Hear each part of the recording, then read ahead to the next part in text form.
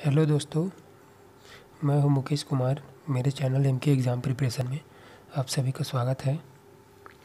Friends आज हम S S C C G L अट्ठारह मार्च के ऑल शिफ्ट के जीके और करंट अफेयर के क्वेश्चन देखेंगे। जीके और करंट अफेयर के जो टी आर वन के लिए है 2020 के लिए। और फ्रेंड्स आगे भी एग्ज़ाम होंगे, जिसमें इसी इसी टाइप के प्रश्न आने की पूरी संभावनाएँ हैं। अतः आप लोग एग्ज़ाम में जाने से पहले इस वीडियो का अवलोकन ज़रूर कर लें। और मेरे पिछले वीडियो को देखने के लिए मेरे लिंक में जाकर डिस्क्रिप्शन में आप लोग सत्रह मार्च के पेपर का एनालाइज कर सकते हैं। तो आइए आज का क्लास स्टार्ट करते हैं। स्मृति मंधाना किस खेल से संबंधित है? तो इसका सही आंसर है क्रिकेट। उल्लेखनीय है कि विजडन द्वारा 2018 के लिए leading women cricketer in the world का सम्मान स्मृति मंधाना को दिया गया है। सेकंड क्वेश्चन है आईसीसी 2018 और ODI player of the year award किसे दिया गया है? तो इसका आंसर है विराट कोहली।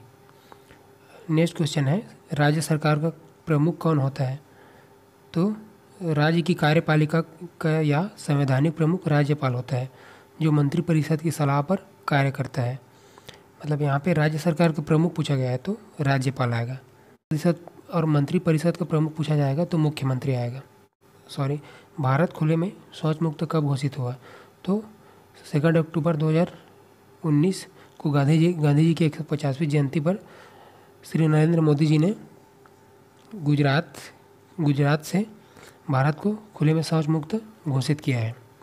नेक्स्ट क्वेश्चन है, गुजरात में मांग महीने में मनाए जाने वाले फसली त्यौहार को क्या कहा जाता है? तो उत्तरायण कहा जाता है। कंप्यूटर के दिमाग किसे कहा जाता है? तो सीपीयू सेंट्रल प्रोसेसिंग यूनिट को कंप्यूटर का दिमाग कहा जाता है। अर्थात यहीं पे वो पूरा अपना स्टोरेज भंडारण करता है। छपाक फ़िल्म के निर्देशक कौन है? तो इसका सही आंसर है मेघना गुलजार। उल्लेखनीय है कि छपाक फ़िल्म लक्ष्मी अग्रवाल के जीवन पर आधारित है, जिन पर एसिड अटैक हुआ था।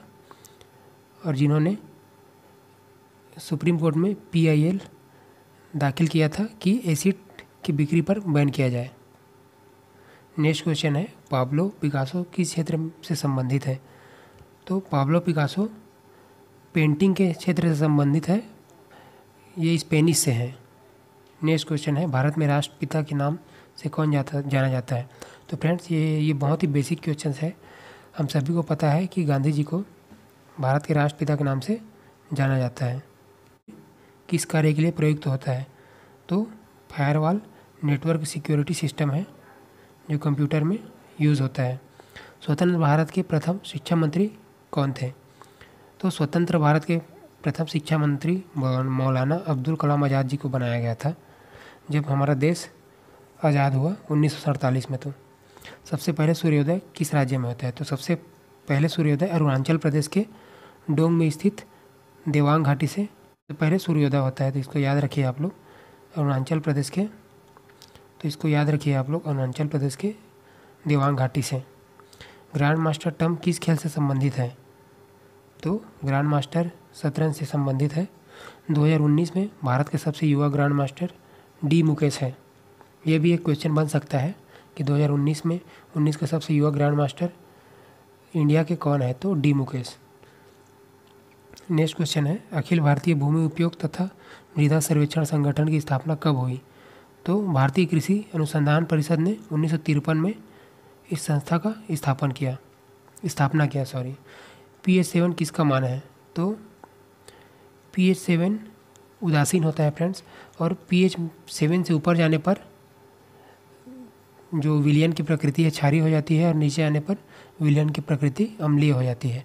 और सेवन रहने पर उदासीन न्यूट्रल हो जाता है। जैसे वर्षा के जल का पीएच मान सात होता है। पत्तियों में शर्करा का निर्माण कैसे होता है? तो प्रकाश संश्लेषण फोटोसिंथेसिस प्रोसेस के द्वारा पट्टियों में, पत्तियों में शर्करा का निर्माण होता है। माउंट एवरेस्ट पर चढ़ाई किस देश से की जाती है? तो नेपाल से की जाती है, क्योंकि माउंट एवरेस्ट नेपाल में है। और इसकी ऊंचाई अट्ठासी सौ अड़तालीस मीटर है। दिलवाड़ा के जैन मंदिर कहाँ पर स्थित है? तो माउंट आबू, राजस्थान के एक जगह है, सिरोही, वहाँ पे दिलवाड़ा मंदिर स्थित है। में कुडम कुलम, परमाणु ऊर्जा संयंत्र भारत और किस देश के बीच संयुक्त उद्यम है? तो इसका सही आंसर है रूस। प्यादा किस खेल से संबंधित है? तो प्यादा शतरंज से संबंधित है। फ्रेंड्स, जितने भी क्वेश्चन हैं, हंड्रेड परसेंट सही हैं। आप लोग इसको, आप लोग इसका मैच दूसरे चैनलों से आप लोग कर सकते हैं, क्योंकि जितने भी मेरे फ्रेंड्स जिनका एग्ज़ाम हुआ, वो लोग मुझे व्हाट्सएप के थ्रू सभी क्वेश्चंस को बताए हैं और मैंने इसको आप लोगों की एनालिसिस के लिए इस वीडियो इस लेक्चर को तैयार किया है। तो इसको आप लोग अवलोकन ज़रूर कीजिएगा एग्ज़ाम में जाने से पहले। नमक का रासायनिक नाम क्या है? तो सोडियम क्लोराइड एन नमक का रासायनिक नाम है।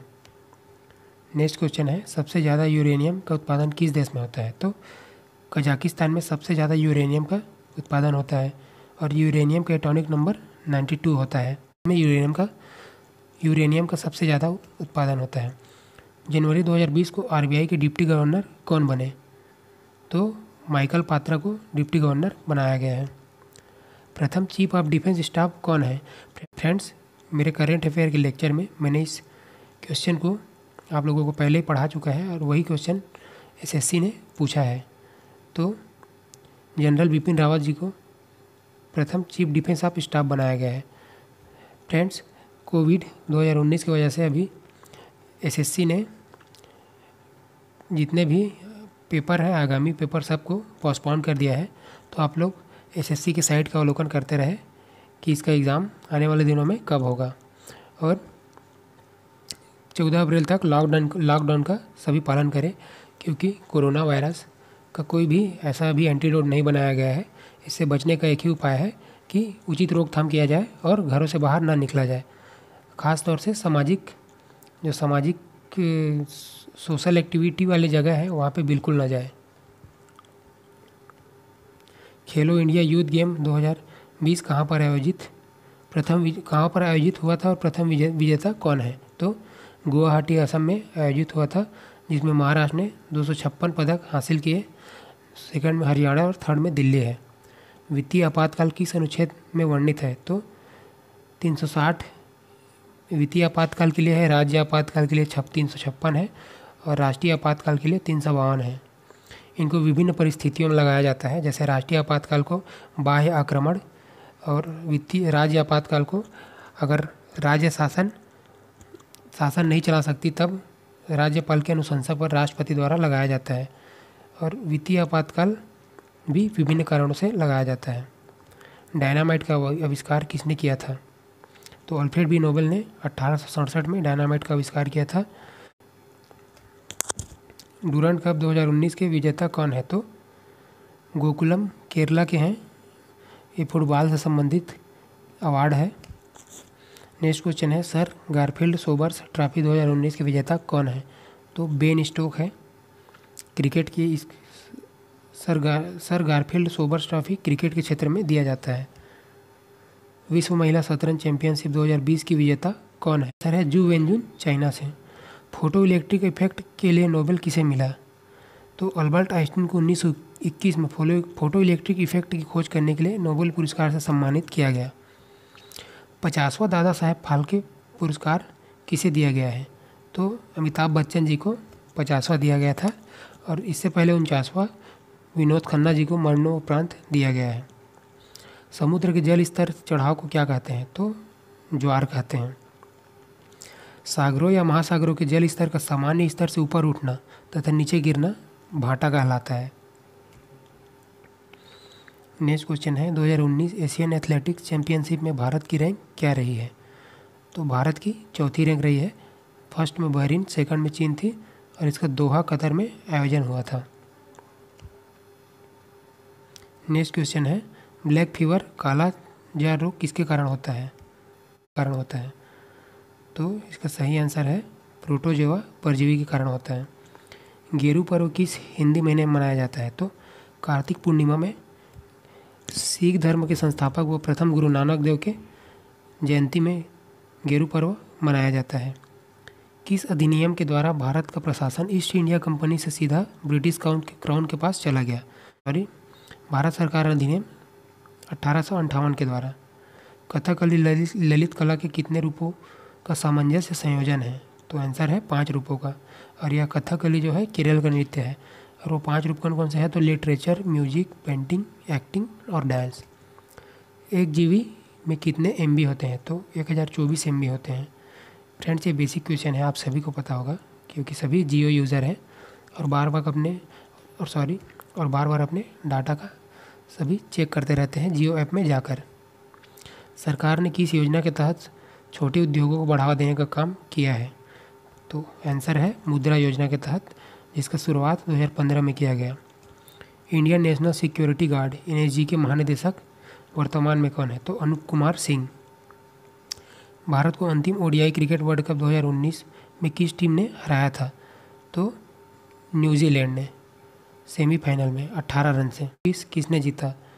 तो सर्बिया ने जीता और जो एटीपी कप है, टेनिस टेनिस खेल के क्षेत्र में दिया जाता है।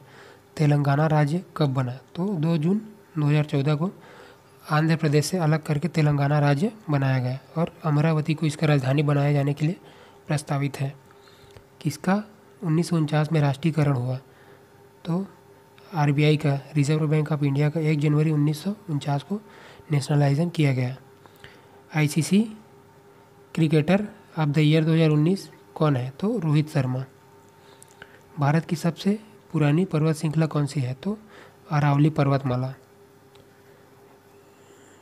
नेक्स्ट क्वेश्चन है, यूनिसेफ की स्थापना कब हुई? तो 11 दिसंबर 1946 headquarter New York city, America में है। नेक्स्ट क्वेश्चन है, महाभियोग प्रस्ताव सबसे पहले संसद के कौन से सदन में लाया जा सकता है? तो नियम के अनुसार महाभियोग प्रस्ताव संसद के किसी भी सदन में लाया जा सकता है।